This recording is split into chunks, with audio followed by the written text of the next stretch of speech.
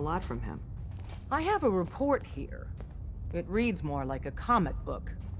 Apparently, one hell of a fight took place at Greentech Genetics. Yeah, that was me. I took down a Courser. That's what the report says. Hard to believe. I'm all for one less Courser in the world, but the conventional wisdom is that you run from them rather than engage them. So why did you kill him? I needed a Courser chip. I need the